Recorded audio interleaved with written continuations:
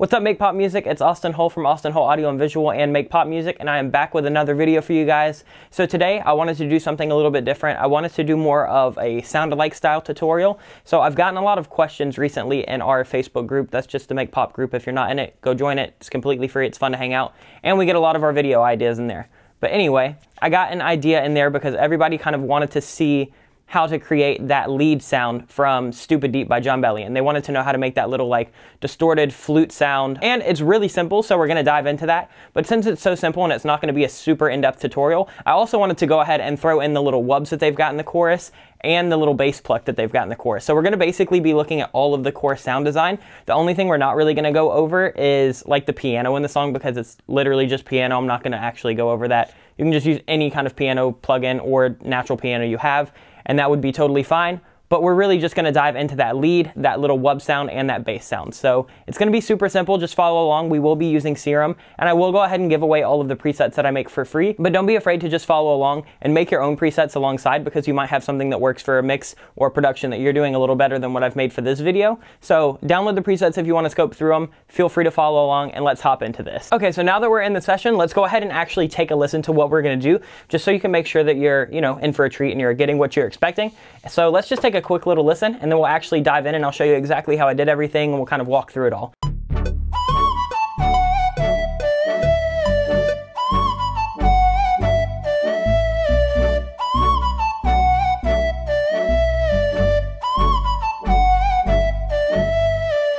So let's go ahead and let's take a listen to this flute. Let's go ahead and turn off any effects and we will just go one by one on everything that we have done and you can kind of see what I did and why I did it. So let's start out. What we started with was I actually just took a pan flute. So if you're in Serum, um, I will attach just a one-shot sample. Just drag that into your noises folder in Serum and you can pull it up. I'll just call it pan flute. Right in my video, it's just called rendered just because I pulled it from my session. But if you're not using Serum, you can really use any kind of virtual instrument that's going to have a pan flute. So something like Nexus or Halion Sonic or Expand. Pretty much any synth that's out right now will have a pan flute. Even if you have some like orchestral libraries, those would work as well. There's probably nothing that's not going to have a flute in it. Anyway, you really just want that pan flute. The key to this song is pitch bend up two, pitch bend down two, and it's really how you play it. So it's going to be, watch this pitch wheel right here.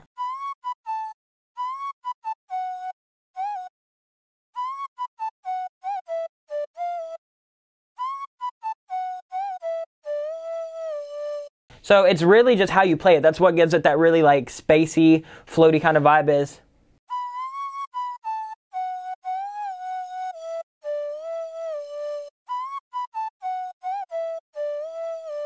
And you can kind of see that in the MIDI that we played just to give you uh, another different visual representation. So you can see it right here.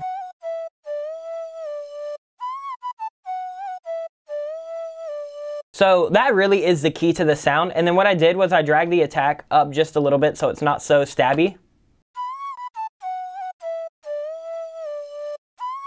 Because everything in the song is a little bit more ambient and kind of subdued. So I just dragged it back like 40 or 50 milliseconds is fine just to kind of soften it up so it's not so you know, right in your face because we are going to distort it later. And when we do, if we have a lot of that attack, it's going to be pretty brutal. So now that that's done, what I did was I just added this analog sine. And what I did was I synced it so we're getting some harmonics. That's what it sounds like. Then I put a filter on it. And with the filter, what I like doing in Serum is I like actually filtering the key. So now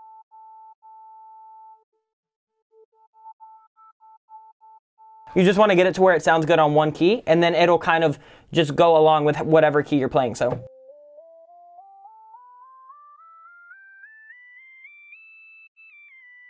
I like doing that because it really creates this like nice little tonal element of this resonance because without it, that's where we're really getting that sharpness and we've got it just right under this kind of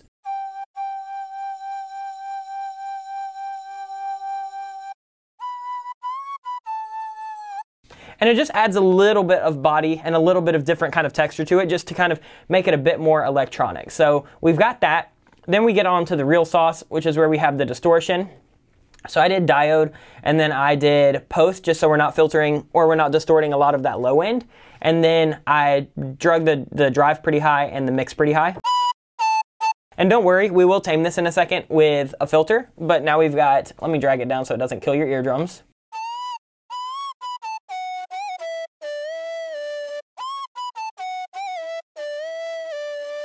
So that's where you're getting a lot of that crushed sound from. Um, so we're just using distortion straight in Serum. You can use any distortion you want though. Outside you can use something like Saturn or Spectre or Camel Crusher or Quadrafuzz, whatever is all fine. Let's go ahead and add that filter just so we can get it back up to a normal level. So we've just got the uh, we've got the Moog Low 6, which is just a basically a low cut with a 6 dB slope.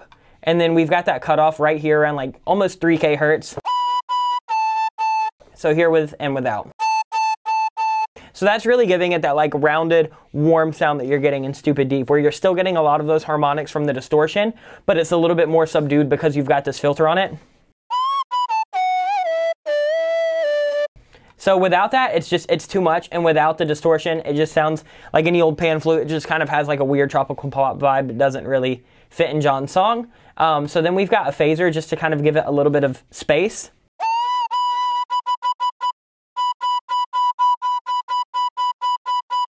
Just to give it a little bit of width. We do the same thing kind of with a chorus. Just to give it that kind of like weird wide texture that he's got on his flute which is what we're going to call it, and his mix, um, because you don't want it straight up the middle, but you don't really want to detune anything because then it gets way too electronic. So we're going to do something like this. And then we've got this delay, which is just one fourth ping pong filtered out, so we're only getting the mids.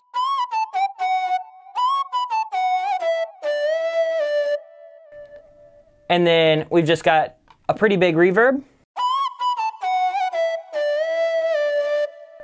And then that's pretty much it for Serum.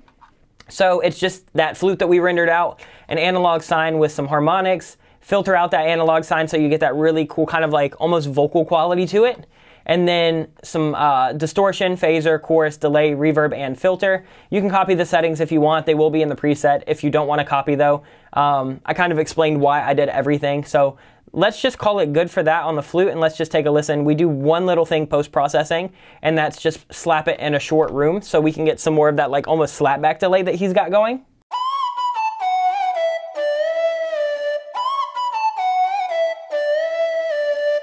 And then that really just helps add add that last little bit of depth that you're hearing in his song that has the width, but it's not something that's like detuned or like, you know, you drag the unison up or you use something like a doubler or a chorus uh, and high effect. So we're using a lot of different kind of modulation techniques and kind of spatial processing techniques to add the depth without adding too much of the flavor that any one of those things will add to that element. So I like to stack my stuff that I'm gonna use to widen it so it doesn't get too chorusy or too reverby or too much delay or whatever. When you're stacking, you know, a little bit of chorus, a little bit of room reverb, a little bit of plate reverb, a little bit of ping pong delay, you're gonna get a lot of width, but it's not gonna feel overpowered by any one element. So let's actually hop into the wubs. Now these are probably so much simpler than you would actually think. Let's uh, have the right track selected.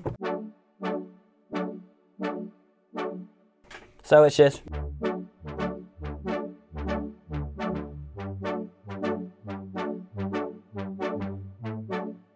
All it is, is really, it's just a saw wave. Let's go ahead and, you know what, we'll just make this one from scratch because it's so easy.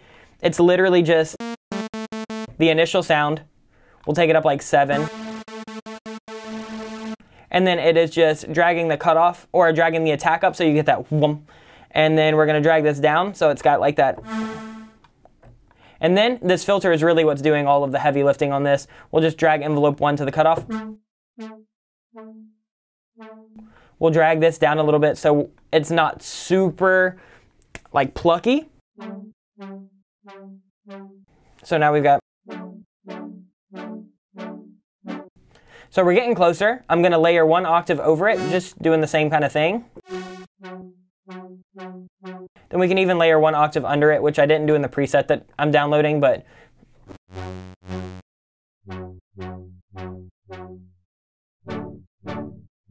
I actually don't want that drag down an octave.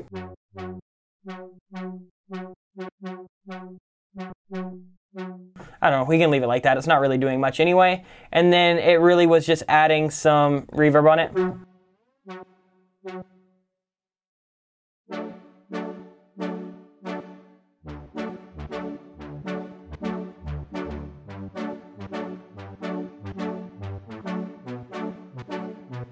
And that's pretty much it. I'm actually gonna go with a little bit bigger size and a longer decay. Drag the wetness down a little bit. But that's pretty much all that's happening here. And then if you want, you know, you can kind of drag this out. Or you can drag it down a little bit. And just remember that this is gonna control the overall, envelope one is gonna control the overall kind of volume or level.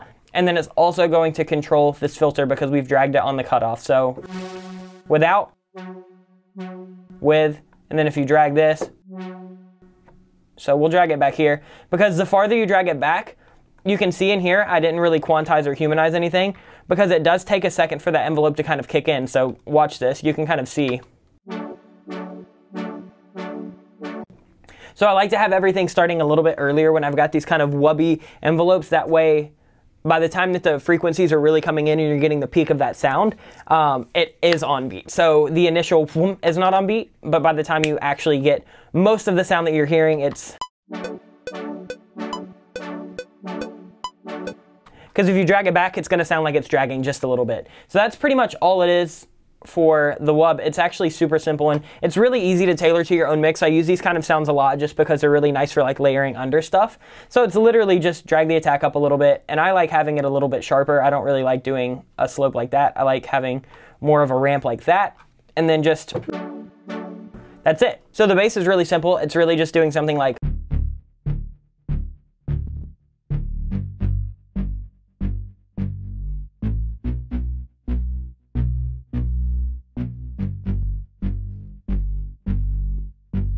So really what we're doing right here is we've got this filter that's really pulling a lot of the weight as always in most of my patches. And let's go ahead and turn all of this kind of stuff off. So we've got just this really, really detuned saw wave. And that's why we pull in this envelope. And so we've got envelope one, which is kind of making this general pluck, and then envelope two, which is a really hard pluck. So what this is doing with envelope 2 being such a sharp kind of attack and decay, it's just adding a little bit of that pluck sound. So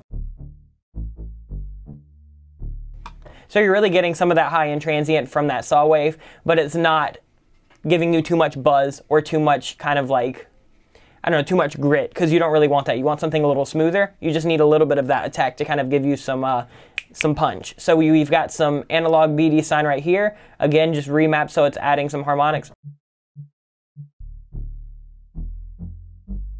Envelope one, just making a general pluck. Envelope two, going to this level and this cutoff. And again, that's just kind of giving you even more of a high end pluck. And then we've got some distortion.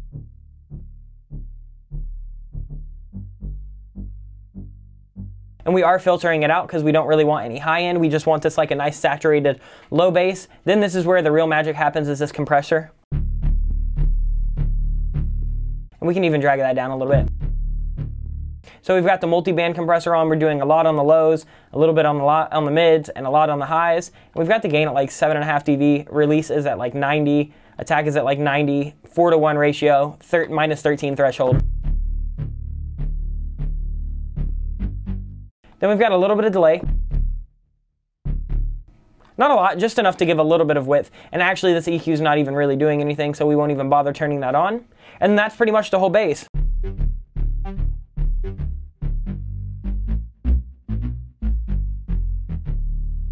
And that's pretty much it. So just to kind of recap the bass, we've got a really, really wide saw right here to provide some width so you get that really like detuned Moog style bass.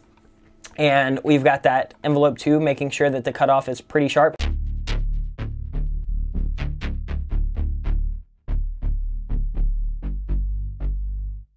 And then we've got envelope 2 also operating oscillator B, making sure that this is coming down this level, so we're just getting a little bit of that.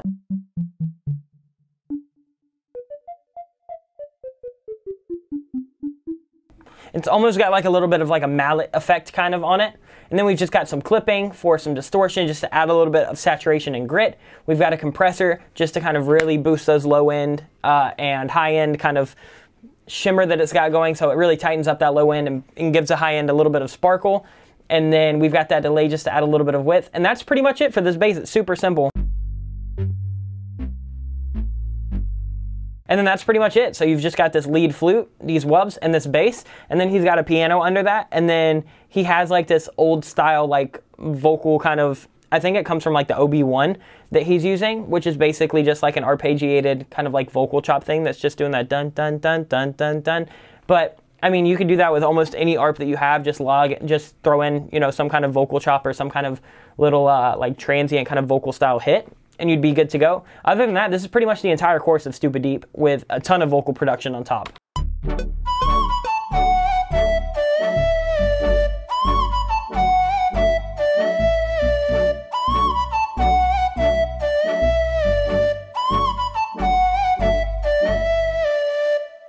And that's it. So Stupid Deep, the sound design is really nothing crazy. Most Jon Bellion in general is nothing crazy. He uses a lot of organic elements that he really likes to just saturate or filter out or do like weird little bit crushing effects on. So if you're ever listening to Jon Bellion and it sounds like it's simple, it probably is. It's probably either his voice, some kind of drum machine, or some kind of organic element that's laying around that he wants to sample. And then other than that, he just uses a lot of retro style synths. So I think on this song they probably use something like the Juno, but we just made it in Serum. All we had to do was basically take a detuned saw wave and just make that little envelope ramping up with the cutoff, and it's super, super simple. So most of his stuff is pretty minuscule. He goes really wild with vocal production. So if y'all ever want to see a Jon Bellion style vocal production video, let me know. That would be like a whole big, probably 20 or 30 minute video because especially on this song, there is a freaking ton going on. In terms of the actual synth sound design, it's really nothing super crazy and I'm glad that we got to dive into it just to show you really how simple it is. But I hope that you enjoyed this video. If you want to see more videos like this, let me know what songs